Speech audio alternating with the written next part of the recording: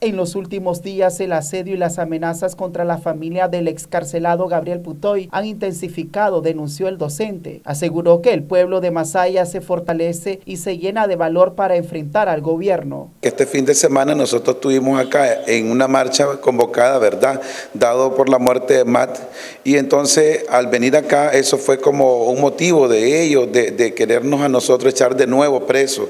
Y allá, cuando regresamos a nuestros hogares, la policía nos cayó 5, 4 y hasta 15 camionetas, ¿verdad?, llenas de paramilitares buscando a los expresos políticos. Desde que nosotros salimos el 10 de junio no hemos dejado de tener asedio y persecución por parte de la policía.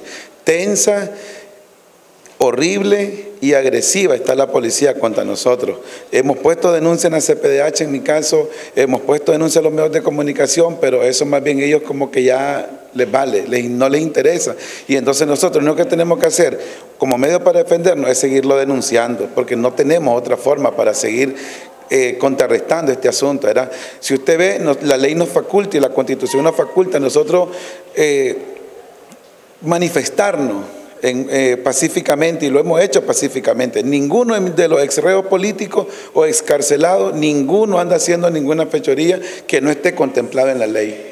Todo lo estamos haciendo, pero la policía le tiene miedo a la unidad. Putoy dice que desde que fue puesto en libertad por la ley de amnistía, no han cesado las amenazas y persecuciones contra su persona. La gente respondió de forma positiva porque en cambio de más bien de atemorizarnos, más bien nos unen la gente nos estamos uniendo, ¿verdad? Y ya usted puede ver el vecino, el hermano, el amigo, el ex compañero de trabajo, te, telefonea, te dice, mira tal cosa, mira la policía viene por tal lado. Entonces, esto ha permitido más bien unidad en nosotros.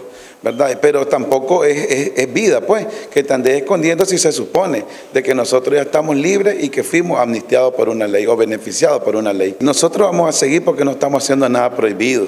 Nada de lo que estamos haciendo es prohibido. La Constitución nos permite manifestarnos de manera pacífica en cualquier sitio del país. Nosotros no estamos haciendo nada que la Constitución no lo permita. Entonces nosotros vamos a seguir de frente, nosotros vamos a seguir manifestándonos, nosotros vamos a seguir defendiendo la injusticia, vamos a seguir pidiendo la liberación de los más de 130 presos políticos que todavía están en la mazmorra de la modelo. Noticia 12, Armando Amaya.